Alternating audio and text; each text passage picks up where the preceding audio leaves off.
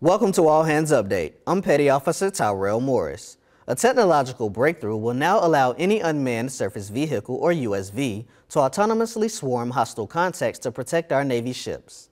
This first of its kind technology, developed by the Office of Naval Research, or ONR, will give our Navy an edge on the waterfront. ONR recently conducted a successful test of 13 USVs on the James River in Virginia, fully demonstrating their sensors and software capabilities. First, they escorted a high-value Navy ship, and when a simulated enemy vessel was detected, the boat sped into action swarming around the threat.